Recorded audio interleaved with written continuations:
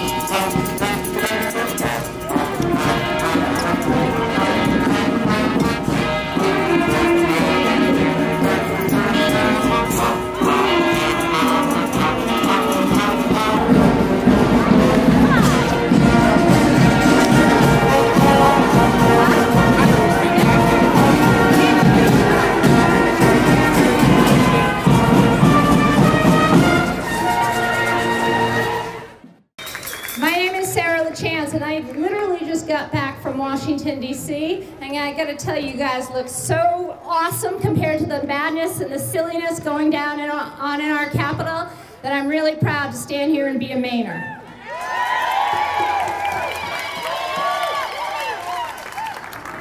I want to start by giving a quick shout out to the amazing musicians that accompanied us here today with the Leftist Marching Band and the Ideal Maine Social and Sanctuary Band. And as we all know, when something like this happens, it's not just the day of the event. There's a little bit that happens behind the scenes as we lead up to the event, and that's um, a whole bunch of folks working together. And we had an amazing group of partners and organizations standing together united so that we can get this job done. And I want to give a big shout out to everyone that made today happy, happen. So I want 350 Maine, Maine Conservation Voters, Sierra Club Maine, the Poor People's Campaign, Mainers for Accountable Leadership, Peace Action Maine, League of Women's Voters, Portland and Scarborough Climate Action Teams, Democratic Socialists of America, and the Green Party.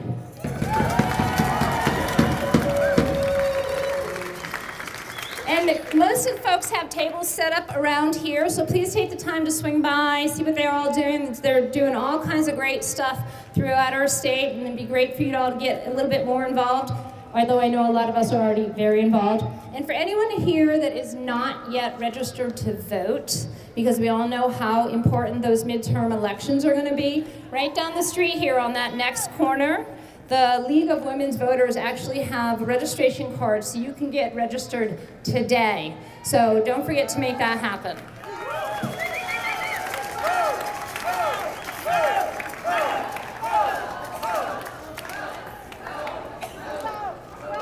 Vote. so another important thing that I think we all need to do right now, and I want us to get like crazy loud when I yell the word victory. And that is where, you know, it's a lot of bad news out there right now, right? We're all feeling a little beaten down. But hey, something pretty cool just happened right here in our state, right? After five years of fighting, everyone here in the state, in Maine, New Hampshire, Vermont, throughout New England and Canada, when dirty tar sands oil wanted to come through our pipeline, and be shipped out to sea to market, we all started banding together and no one stopped working for five years straight. I want to give an especially big shout out to Protect South Portland and the amazing people that never once gave up for five straight years. Victory! And that victory is so very, very, very sweet because we just set a precedence that guess what, Big Oil? You don't get to come into our towns and make them dirty and filthy and make our people sick and our planet sick. We will fight back. Victory!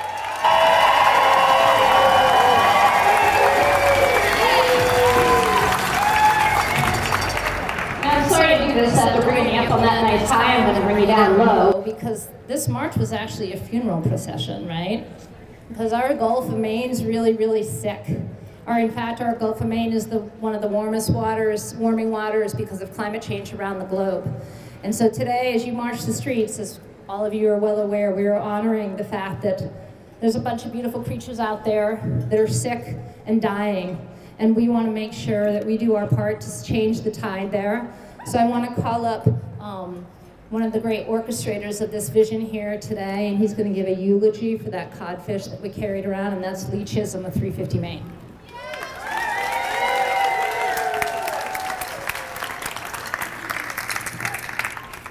Well, thank you, fellow mourners.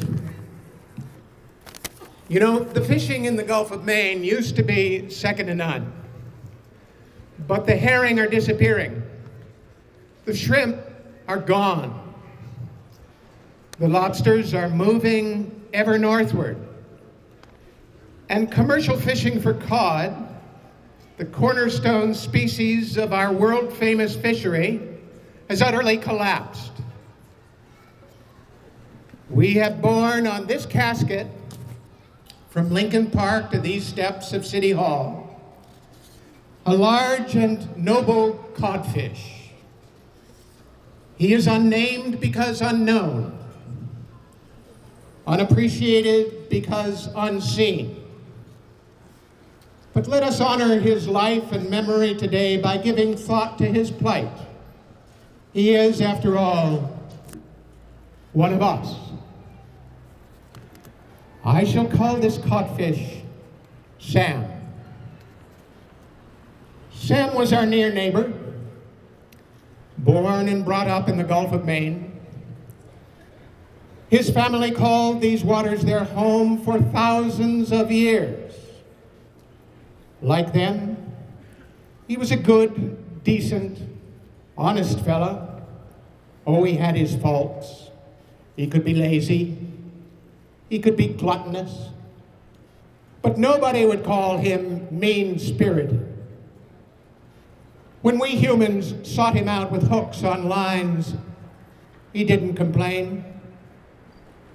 When we dammed Maine's rivers, where the alewives and shad were wont to spawn and some of his favorite foods consequently grew scarce, he didn't complain. When we discovered ever bigger, better ways to catch him, from long lines to gill nets and draggers, from fish finders to factory ships. He didn't complain. But when we began to heat up his beloved Gulf of Maine through ceaseless combustion of coal and oil and gasoline and natural gas, when the Gulf of Maine's waters started to increase in temperature faster than 99% of the world's ocean bodies, when Sam, a cold water loving fish down to his very bones, just could not seem to catch a break, he uttered what some might call a complaint. These were his dying words. For God's sake, for God's and your children's sake, S-T-O-P, cut the carbon. To the honored memory of Sam Codfish, then, let us sing. Some of you will know this song from the famous English composer Benjamin Britten. I shall sing a line. Please try to sing it back. This is all experimental. Old Sam the cod is dead and gone. Old Sam the cod is dead and gone. You'll never see him more. You'll never see him more. He used to love the Gulf of Maine. He used to love the Gulf of Maine, but that was long before. But that was long before. Once through with me. Old Sam the cod is dead and gone. You'll never see him more. He used to love the Gulf of Maine, but that was long before. We'll remember you, Sam Cod. We will not forget you when this day, November 6th, comes in the midterm elections. Thank you, everybody. So much like the preachers out there in the Gulf of Maine, they don't get to vote. We're about to introduce a whole string of super amazing, powerful speakers who yet can't vote, but believe me, their voice is rising. It is my honor to introduce the first speaker, Lucia Durrani, a junior at Casco Bay High School. Lucia? Hi, everybody. Thank you so much for coming out. I'm so honored to be the first speaker of all of these amazing people. Everyone who I marched with is just so inspiring. Um, today, I'm here to address the issue of ocean acidification in the Gulf of Maine. I've been lucky enough to grow up on Peaks Island, Maine, which is just off the coast of Portland, and so I've seen firsthand how the shellfish are being affected by ocean acidification. Excess CO2 has found its way into our oceans and is now messing with the pH levels. Um, because of this, we will see a, a lack of natural resources for the shellfish to build their shells and grow. This will create smaller shellfish throughout Maine. When I first learned about the effects of uh, the effects we were having on our oceans, I felt extremely small. I was constantly hearing it's your generation's task to fix this job. However, through education from my high school and middle school and many conversations with friends, I've realized that it's not just our job, and it is the job of all of us. It's going to take a lot more than just one generation to fix the problems that we've caused. CO2 is not going to go away in a night, and it is important to think globally but act locally. Our goal as a state should be to follow California's goal and to set a, a goal for 100% renewability. In California, they've made their goal to be 2045. And as a state, we need to strive to reach the Gulf of, to reach this goal in Maine by 2050. To reach this goal, we're going to need to come together and work locally throughout Maine. All actions need to be taken, and no matter how small, it is important to remember that we can do this if we work together. Empowerment of others, like what is happening right now, will make this problem seem a lot smaller. Ocean acidification, or any of the other issues you will be hearing about today, will definitely seem less daunting if we continue our efforts to reduce our carbon footprint. With each step we are taking, we are gaining new information and becoming closer to reach our goal for a healthy and sustainable world with plenty of shellfish and fish to go around. Thank you. Next up, we have Ryan, and he's going to be talking to us about what the youth are doing. Yeah, yeah. In 1950, the world's population of 2.5 billion produced 1.5 million tons of plastic. In 2016, a population of more than 7 billion produced 320 million tons of plastic. This number is expected to double by the year 2034. When I first learned about this fact, I really questioned the validity of it.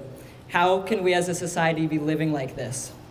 The truth is, is that our society is an out of mind, out of, sorry, out of sight, out of mind society the vast majority of us will never see the five enormous gyres of plastic floating in our oceans, killing millions of fish and ocean habitats. Habitats that millions of people worldwide depend on for food on a daily basis. We might never see the thousands of birds, whales, and turtles that are washing up on shores worldwide dead because, of they, because they have suffocated to death by mistakenly digesting plastic but this will still continue to happen. Beyond the ocean, millions of tons of plastic are being burned every day in incinerators, leaving toxic chemicals floating in, the, in our atmosphere, directly linked to asthma and other respiratory diseases. We might never see this as well, but this will still continue to happen. The average American produces 4.4 pounds of trash daily, and roughly half of that is plastic waste. There's a small movement of people that are trying to cut plastic from their life entirely. But there's even a larger amount of people that are consuming more plastic with their products mindlessly every single day. I've come to the conclusion that the only real way to solve this issue is to blame those responsible. Corporations putting out more products packaged in single-use plastic need to be held accountable.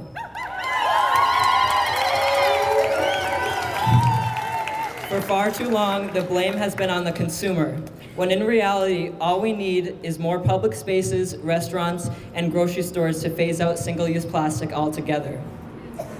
It is time for us to throw away this throwaway culture. It's time for us to value a livable and breathable future over our personal convenience. Dozens of high school students with the Maine Youth Environmental Association have taken this problem into their own hands. We've realized that our government has failed to properly address climate change, but we will not accept this reality. We're about to launch our 2018-2019 campaign to both educate hundreds of students in our schools about the harms of plastic and set real legislations in our communities and our state to phase out single-use plastics. The reality of the matter is that we literally do not have much time left. For those of you who can vote, we need voters to support the climate action advocates. For all students, we're building a movement in our state. We need artists, writers, speakers, organizers, fundraisers, and supporters. Our time is now. We must not waste any more of it.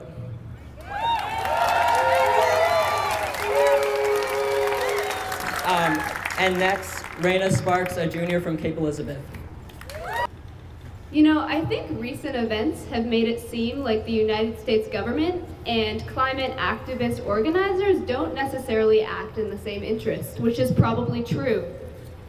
What I love about democracy and grassroots organizing, though, is that they both have the same foundational message, and that is people power.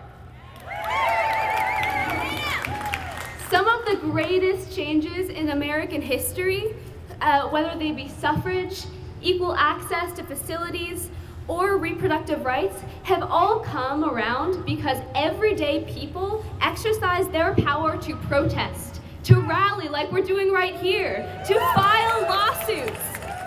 This empowered spirit is so evident in all of your faces down here, and it is foundational to the environmental movement. In 2015, 21 young people filed a lawsuit against the Oregon U.S. district called Juliana versus the United States.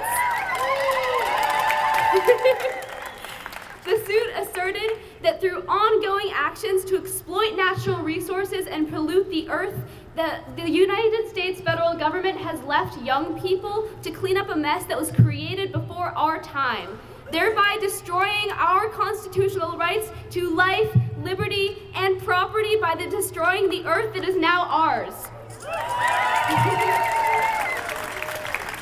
The fossil fuel industry tried to involve themselves as defendants and joined the US government in attempting to get the case dismissed.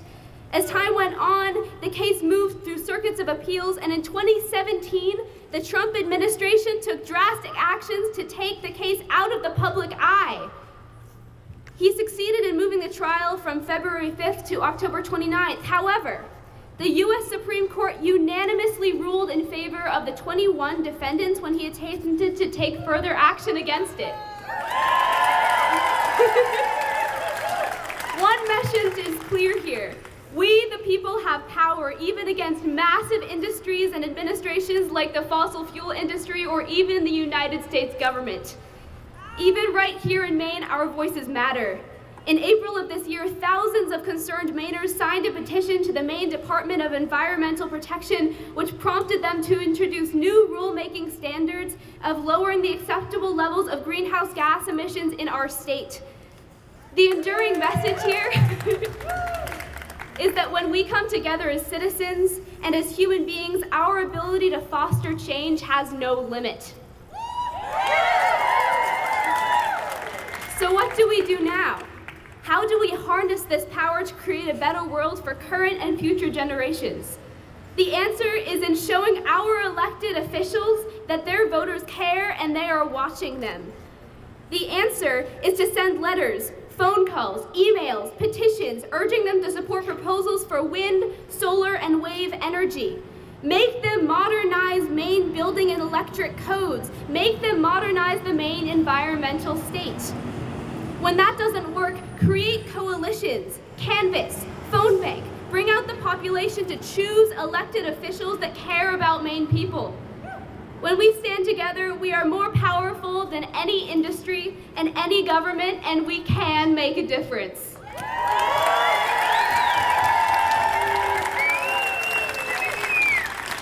Next up, we have Hunter LaChance. He's a sophomore at Kennebunk High School.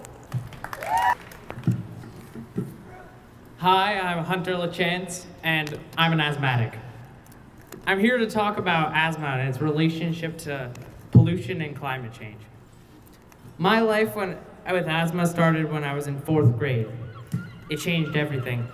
Asthma, asthma affected nearly every aspect of my life. It was difficult to come to terms that my life would never be the same. But I'm not alone. There are over 6 million kids around the US with asthma. And Maine has a highest rate of has some of the highest rates of children asthma than any other state. And since it is both disruptive and dis and distressing, they often miss school, limiting their ability to learn, and they also miss work, limiting their income. Over the years, I've learned the importance of keeping our air clean, for me and the sake of all other Mainers with a respiratory disease. While pollution doesn't cause asthma, it triggers attacks.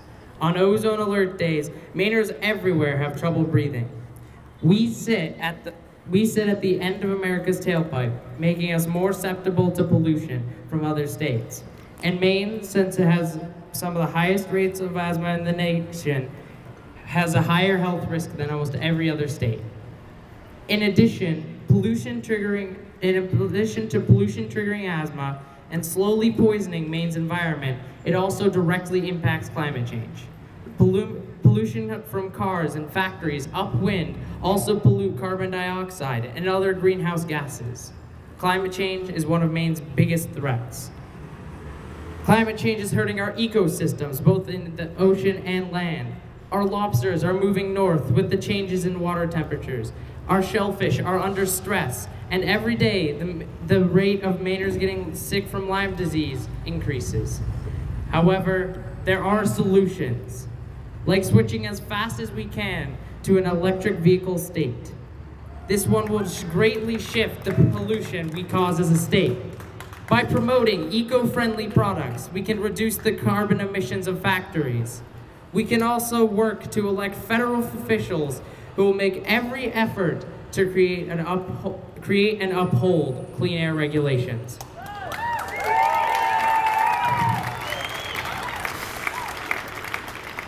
All of this will greatly help me and all the other Mainers suffering from asthma, because everyone has a right to breathe clean air.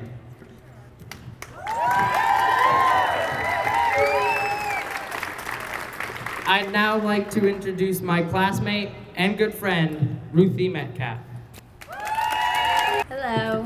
So I'm going to tackle the jobs part of climate jobs and justice. Um, so I would like to speak to you about the impact of a change to widespread green industries and clean energy would have for job opportunities in our state. Green and renewable energy hold incredible potential for Maine's future. Solar and wind power jobs alone would be able to employ thousands of people in our state with long, well-paying jobs that, that promise a cleaner future for the state of Maine's climate and economy. Not only would this jo provide jobs for us, but it would also create industries that would greatly change Maine's economy for the good. When we create jobs and work that provides money for our state, that stays in our state, we set ourselves up to prosper and grow. I grew up in Maine backyards, in Casco Bay summer camps, and close to our beautiful Atlantic coastline. This state is my home as it is yours. I believe because of this, we should be putting absolutely everything into the fight to obtain greener, more renewable energy solutions. We can do it. Wind energy is something we should be thriving off of, and it is a resource that we are completely underutilizing. The manufacturing of windmills alone could create hundreds of reliable and valuable jobs for Maine people, while being a clean and powerful form of green energy. Seven years ago in 2011, the governor shut down any prospect of floating solar panels at that time. At the same time, letting fear dispose of an investment that could harness the strong winds off Maine's coast for clean energy and business for manufacturing and installment companies. We need to be pushing we need to be pushing that items like these will no longer be shut down without our voices in the picture. We need to demand the change.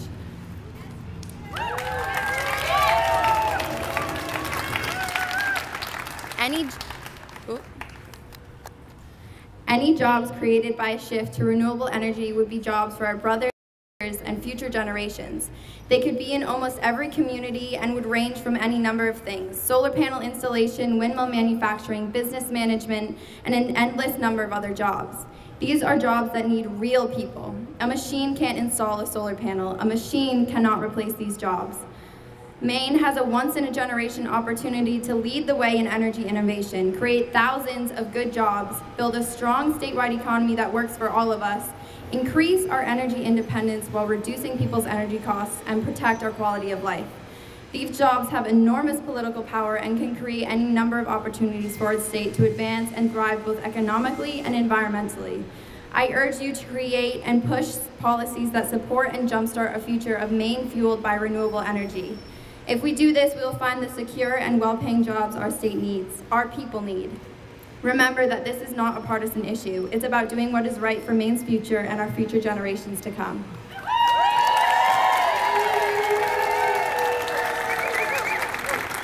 I'd now like to introduce Luke Sarah, Serica Flanders, a sophomore at Fryeburg Academy. Hello, my name is Luke Sekera Flanders, and I am a co-founder of Community Water Justice. I live in I live in Fryeburg, Maine, a frontline community where Nestle, the largest food and beverage corporation in the world, is privatizing our local water supply and shipping it all over the country under the label of their Poland Spring brand of, of bottled water.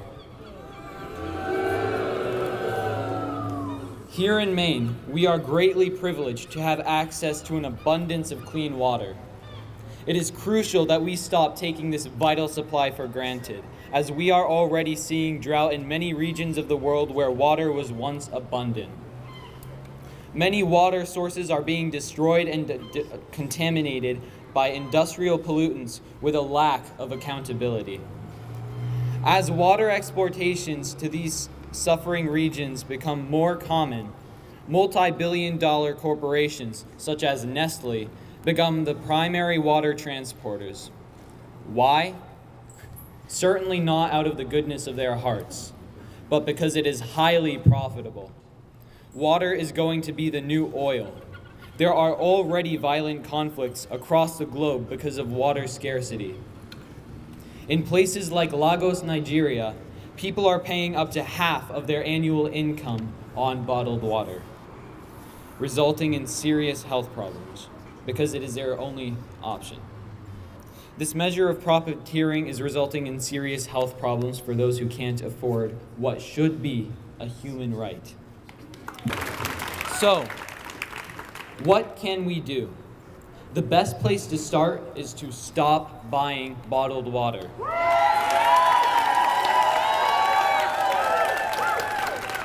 It is wasteful, and the commodification of such a vital resource will have lasting effects on human health. It's time that we start treating water with the respect it deserves as a human right and not a tool for financial exploits.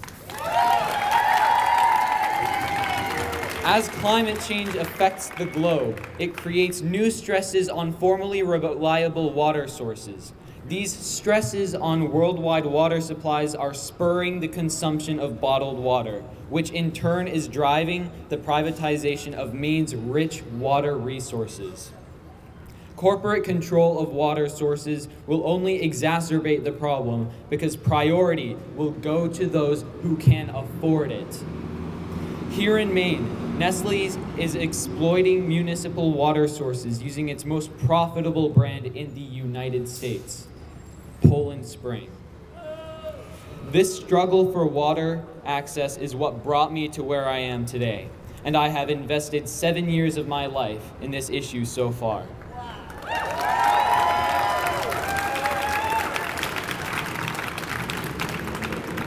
Struggles over local water control will play a major role in overcoming corporations who prioritize profit over access to water.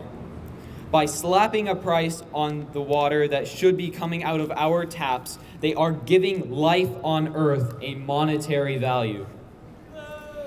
This system based on human exceptionalism is not good for any living thing on this planet.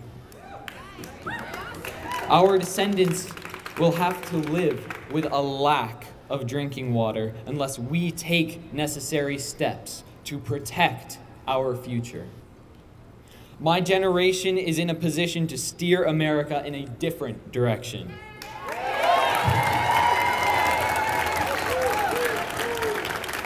Don't buy bottled water unless it's an absolute emergency. Research and call out corporations that seek control of our water for private profit. If you'd like more information, visit Community Water Justice online or come talk to me anytime. Thank you. I want to thank you all again for coming out today. And I want to remind you that we've got a lot of work to do. So let's go back to our towns. So many towns around this state right now are demanding local action. Towns are springing up all over the place saying we're going 100% renewable. Go home and make sure your town's one of them. And, and, most importantly, let's remember the midterm elections are coming right up. Get involved where you can. We have got to turn the tide. We cannot afford the polluters to be in control. Let's raise the voice of all these amazing youth and give them a future.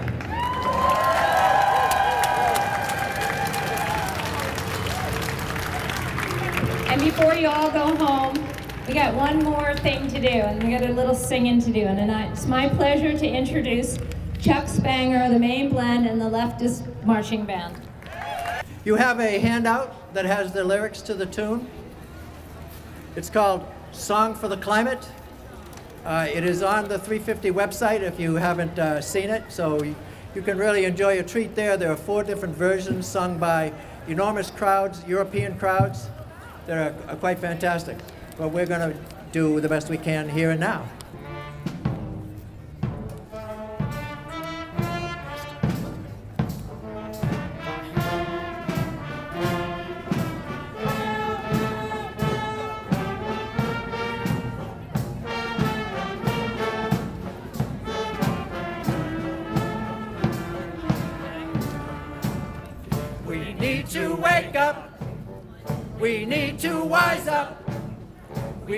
To open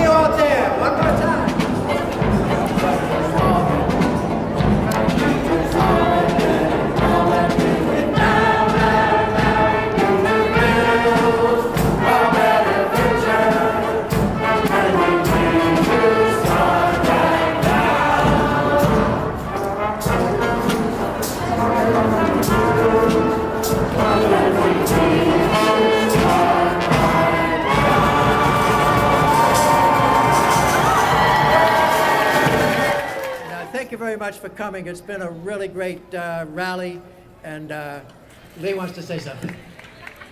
Just want to thank Peter Bradford, Jimmy Freeman, and folks from up Belfast Way who brought down the coffin and hauled it up and down Portland Street. Leftist marching band, can you rock us out of here? We'll leave to your dulcet tones.